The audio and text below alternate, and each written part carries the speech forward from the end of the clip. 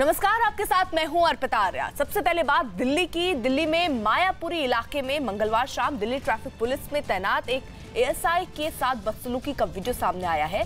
Video में दिख रहा है कि स्कूटर सवार एक महिला और आदमी दिल्ली ट्रैफ़िक पुलिस कर्मी से बदसलूकी कर रहे हैं। स्कूटर पर सवार महिला ट्रैफ़िक पुलिस कर्मी के साथ धक्का मुक्की और गाली गलौज करती नज़र आ रही है।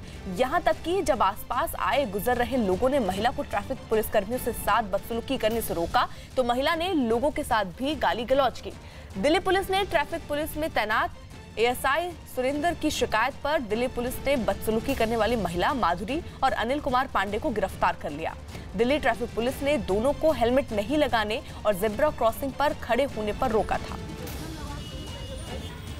दीपक बिष्ट हमारे साथ हमारे सहयोगी इस वक्त जुड़ चुके हैं। दीपक, ये पूरा ड्रामा क्या था?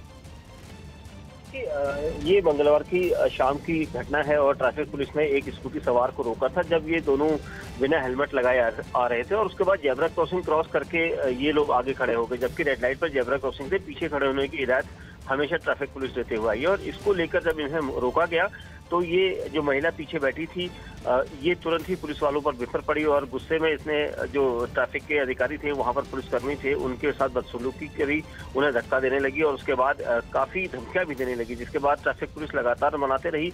आसपास खड़े लोगों की भीड़ वहाँ पर जमा हो गई थी और उन्होंने भी उन दोनों को समझाया कि आप ट्रैफ़िक पुलिस के जो नियम है, उनका कायदे कानून से पालन करिए, लेकिन वो दोनों जो है, लोगों पर भी बरस पड़ी, जिसके बाद धक्का मुक्की को लेकर फिर जो एएसआई वहाँ पर मौके पर थे उन्होंने उनका चालान किया बाकायदा उनकी गाड़ी जब्त की गई और उन दोनों को की शिकायत जो है नजदीकी पुलिस स्टेशन मायापुरी में की गई जिसके बाद दोनों को गिरफ़्तार कर लिया गया।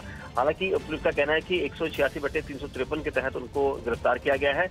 वहीं साथ ही जो प्रॉपर्टी डीलर है उसको लेकर ये जो आरोपी अनिल है वो प्रॉपर्टी डीलिंग का काम करता है नोएडा में और ये दोनों लिव इन रिलेशनशिप में रहते हैं। तो फ़िलहाल पुलिस इनसे जाँच कर रही है। शुक्रिया दीपक।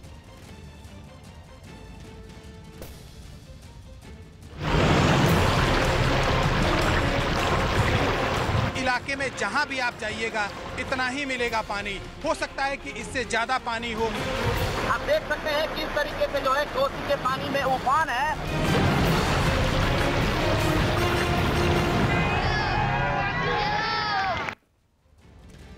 तो जिस तरीके से हाहाकार बाढ़ से पूरे देश में मचा हुआ है, हिमाचल प्रदेश के मनाली में भी बारिश और भारी बारिश की वजह से नदियों का जलस्तर बढ़ गया।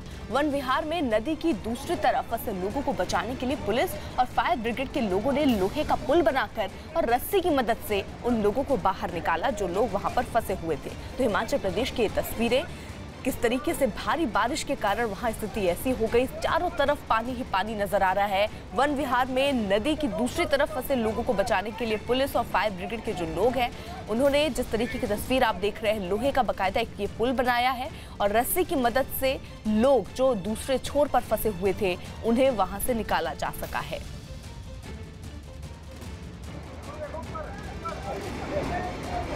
हिमाचल प्रदेश के मनाली की ये तस्वीरें हैं। वहाँ पर भी भारी बारिश हो रही है, जिसकी वजह से जो नदियों का जलस्तर है, वो बढ़ गया है। और इसी के चलते लोगों को इस छोर से उस छोर पहुँचने में काफ़ी दिक्कतें हो रही हैं। ऐसे में जो पुलिस और फायर ब्रिगेड के लोग हैं, उन्होंने पहले एक लोहे का पुल, जिस पर आप एक व्यक्ति को चलते हुए देख रहे हैं। ये लोहे का पुल बनाया गया और साथ ही साथ रस्सी की मदद से एक छोर से दूसरे छोर तक लोगों को पहुँचाने का काम पुलिस और फायर ब्रिगेड के लोग करते नज़र आए। हिमाचल प्रदेश, मनाली की ये तस्वीरें।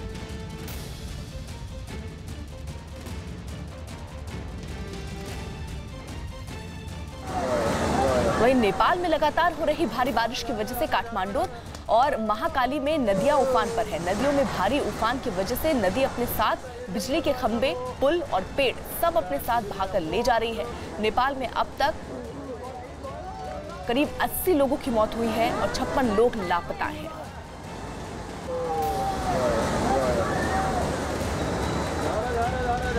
तो नेपाल की ये तस्वीरें, काठमांडू की किस तरीके से? वहाँ पर भी जो नदियाँ हैं, वो उफान पर है। कई नदियाँ अपने खतरे के निशान से ऊपर भी बह रही हैं। आसपास के जो इलाके हैं, उन्हें उसने अपनी चपेट में ले लिया। और किस तरीके से ये तस्वीरें आप देखिए कि पूरा पूरा जो सड़क है, जो इलाका है आसपास का, पानी अपने बहाव के साथ इनको बहाता हुआ, लेता हुआ, लेता जा रहा है। जो बिजली के खंभे हैं, पुल है, पेड़ है, ये सब नदियाँ जो हैं, उनका बहाव इतना तेज है कि ये अपने साथ इन सबको बहाते हुए नज़र आ रही है।